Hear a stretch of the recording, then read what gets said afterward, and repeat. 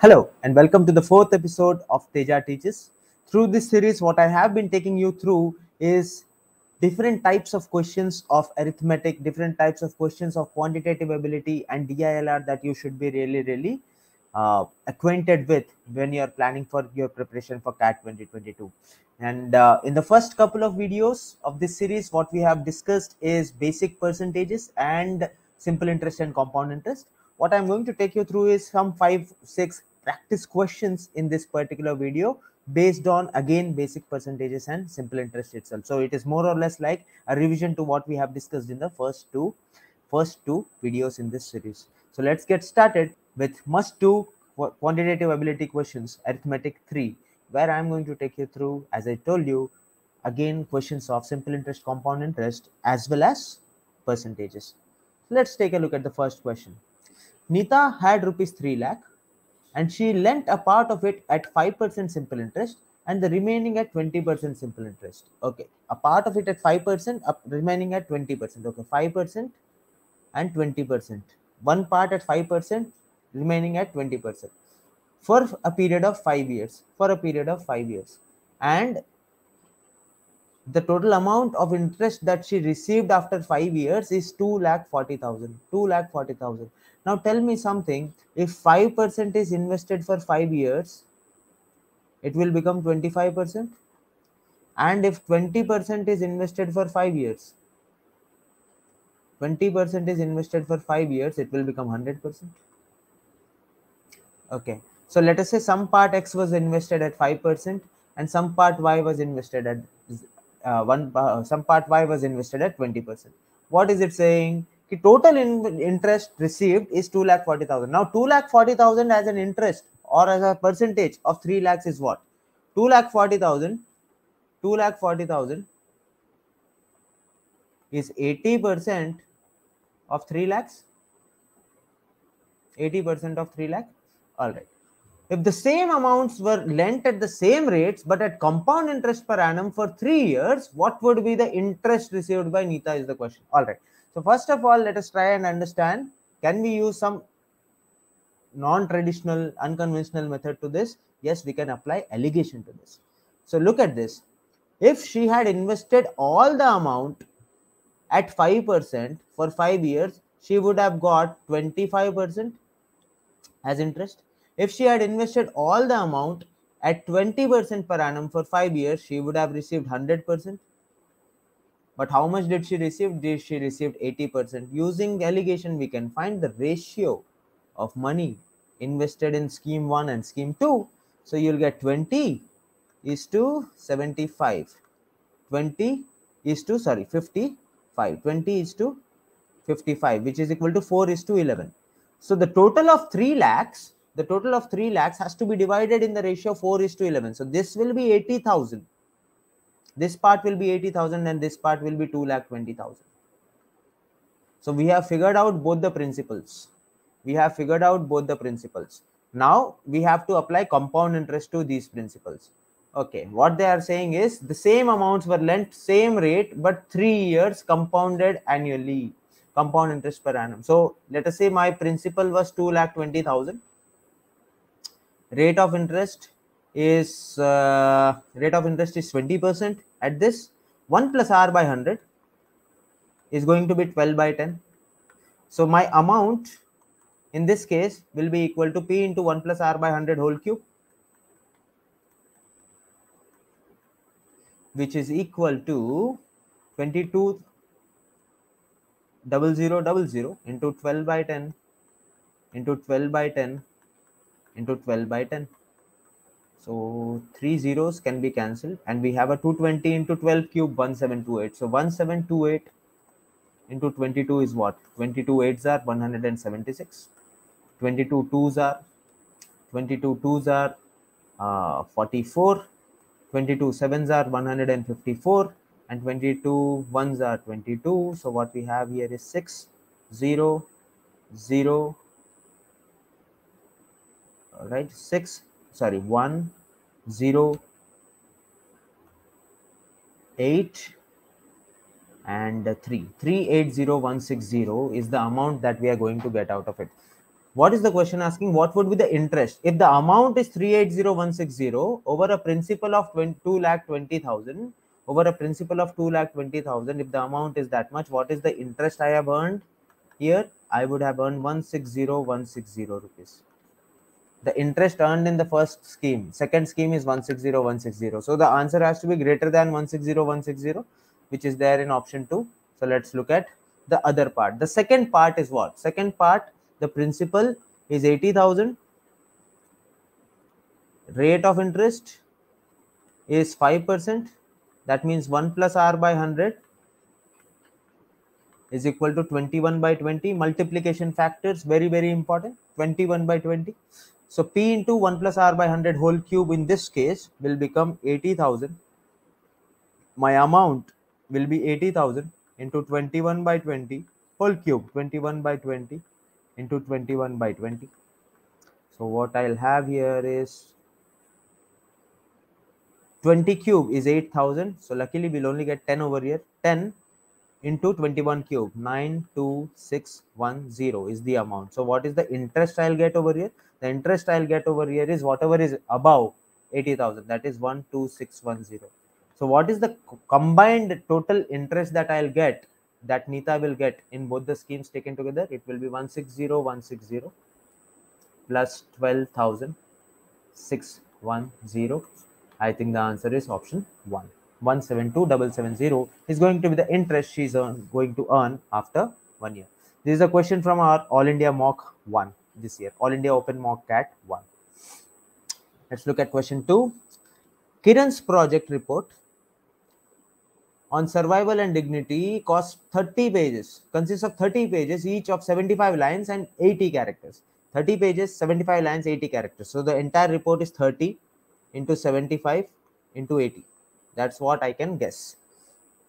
In e in case of the number of lines is reduced to 64 okay in case the number of lines is reduced to 64 number of characters is increased to 90 what is the percentage change in the number of pages? So what is the number of pages? Here is what is the question first of all.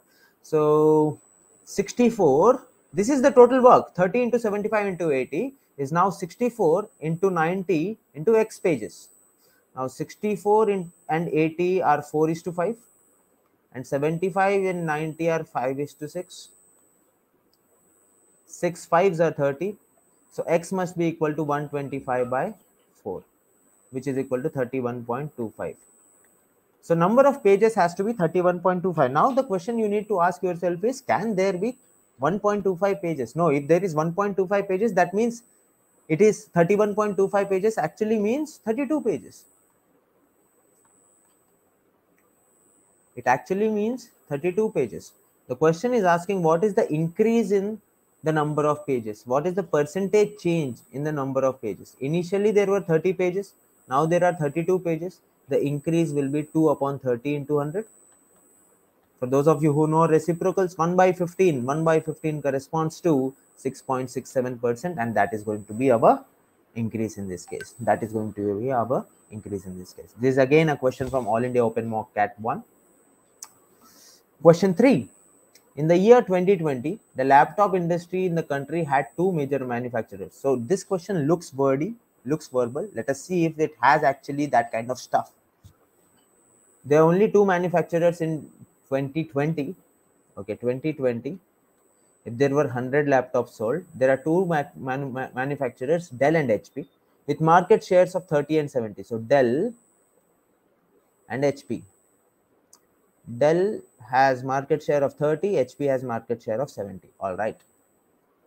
In 2021, the overall market for the new for the product increased by 20%. So that means that means there will be 120 laptops being sold in 2021. New player Asus entered the market and captured 15%. Okay, Asus is there, Dell will be there, and HP will be there. Asus has captured 15% of the market 15% of 120 now this is okay if we know that the market share the market share of dell increased to 50% dell is now 50% So 15% if Asus has taken it, 50% Dell has taken it. How much is left for HP? HP has only 35% left. What is the question asking? Percentage decrease in market share of HP was how much? Okay, simple. Market share of HP was 70, now it has become 35%.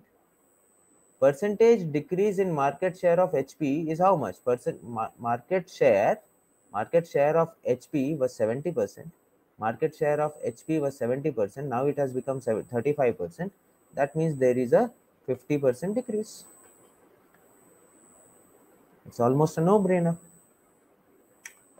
Question 4. Rashi's house rent is 50% more than that of Ayushi and 75% more than that of Jyoti. So Ashi, Rashi upon Ayushi. Rashi is 50% more than that of Ayushi. So Rashi upon Ayushi is 3 by 2. 100 up 150 upon 100. Which will translate to which will translate to 3 by 2. And Rashi's house rent is 75% more than that of Jyoti. So Rashi upon Jyoti, Rashi upon Jyoti is equal to 175 upon 100, which is 7 by 4. 175 upon 100, which is 7 by 4. So if you look at the simple ratios over here, you'll get Ayushi is to Rashi is to Jyoti if I have to find. Ayushi is to Rashi is 2 is to 3 because Rashi upon Ayushi was 3 is to 2. And Rashi upon Jyoti is anyway 7 is to 4. Rashi upon Jyoti is 7 is to 4. If we have to find a combined ratio, what to do?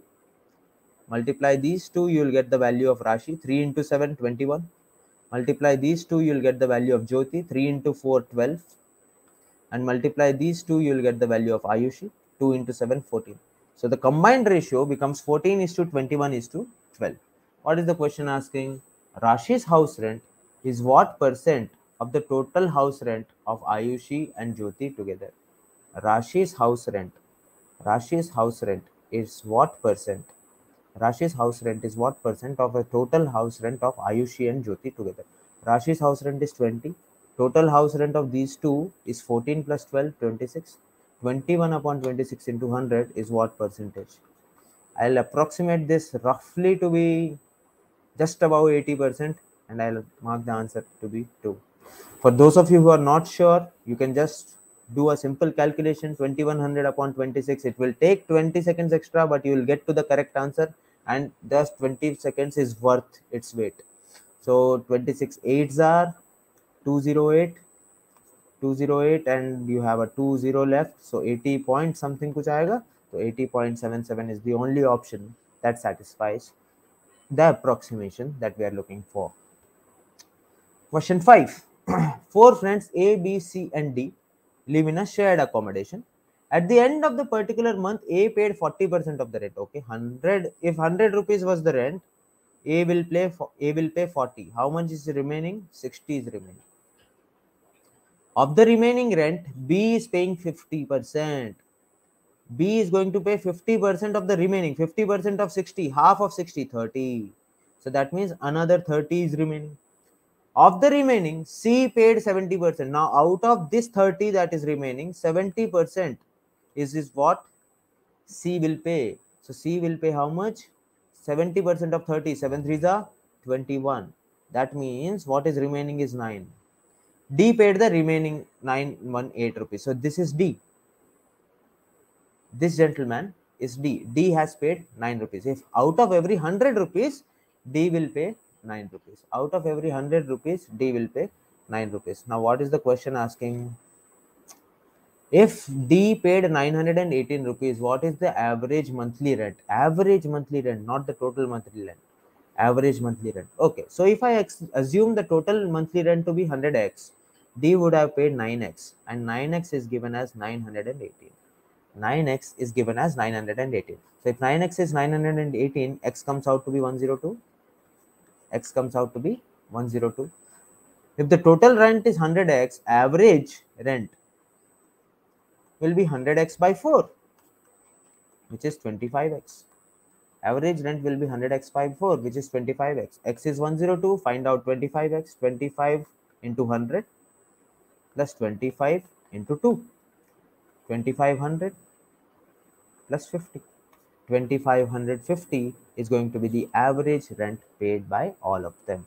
So this is another question from PrimeCat 2. These are all questions that we have solved on the basis of our knowledge of simple interest, compound interest, as well as basic percentage calculations.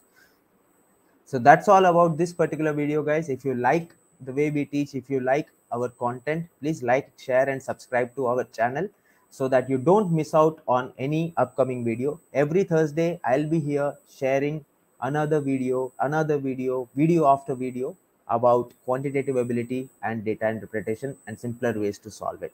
Thank you.